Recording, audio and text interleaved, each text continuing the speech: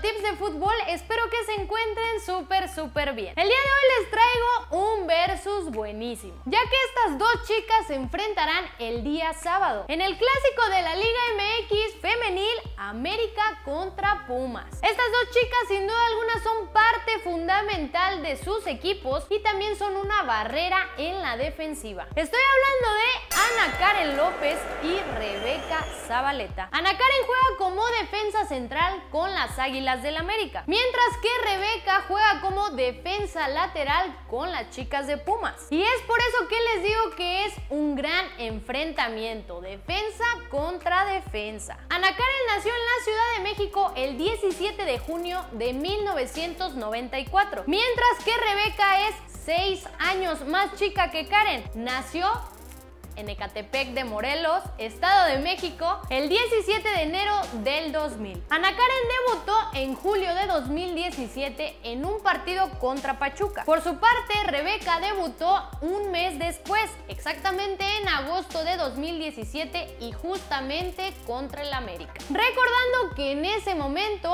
aún vestía la camiseta de Cruz Azul. Ana Karen porta el número 16 en camiseta, mientras que Rebeca porta el número 3. Ambas jugadoras cuentan con el mismo número de equipos en la Liga MX femenil. Han estado únicamente en dos equipos. Ana Karen comenzó su camino en la Liga MX femenil justamente con Pumas y esta temporada llegó a las Águilas del América. Mientras que Rebeca inició con Cruz Azul como ya se los había mencionado. Y esta temporada también se incorporó con las chicas de Pumas. Y vaya que son cracks porque han estado en equipos grandes. Lamentablemente no les tocó jugar juntas en Pumas, pero sin duda alguna hubieran sido la dupla en la defensiva. Ninguna de ellas cuenta con título en la Liga MX, pero ambas se proponen lograr el título y llegar a selección. Ana Karen cuenta con 8 juegos en esta apertura 2019, de los cuales 5 ha sido titular y en esos 8 partidos ya cuenta con un gol. Mientras que Rebeca cuenta con